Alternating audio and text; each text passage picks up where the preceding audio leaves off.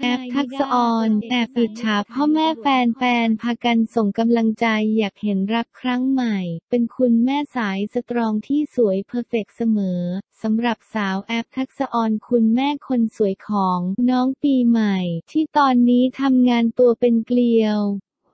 และทำหน้าที่คุณแม่ดูแลลูกแบบเต็มที่สุดๆ ท่ามกลางแฟนๆ ที่คอยให้กำลังใจอยู่ตลอดเวลาและล่าสุดสาวแอฟได้โพสต์อินสตาแกรมทำเอาแฟนๆ พากันมาคอมเมนต์แบบล้นหลามพร้อมกับส่งความรักให้กันอย่างเต็มเปี่ยม โดยสาวแอฟ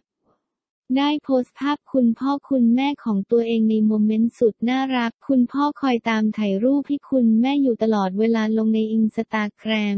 @aff ขีดล่าง taksaon พร้อมกับข้อความว่า แม่แม่มีพ่อพ่อตามถ่ายรูปให้ตลอดทุกงาน มีความอิจฉาเล็กๆ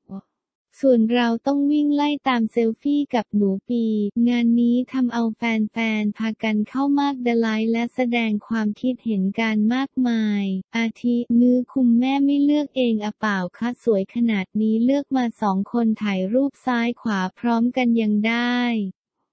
ผู้หญิงทั้งประเทศอิจฉาคุณแม่นะ รู้ไหมเยสเอาใจช่วยนะเครื่องหมายหมวกเครื่องหมายหมวกอีกหน่อย แอปก็จะมีโมเมนต์แบบนี้เป็นของตัวเองจ้ะ อยากเห็นพี่แอฟมีความรักครั้งใหม่จังค่ะ ใครจะเป็นผู้โชคดีที่ได้ไปเป็นสมาชิกของครอบครัวอบอุ่นของครอบครัวนี้ เป็นกำลังใจให้มีแรงในการวิ่งตามน้องปีใหม่นะคะ รอวันของแม่อยู่นะแม่ happy แฟนคลับก็ happy รักแม่รักปีรักครอบครัวของแม่รักทุกอย่างที่เป็นแม่แอฟ support นะแม่ love love love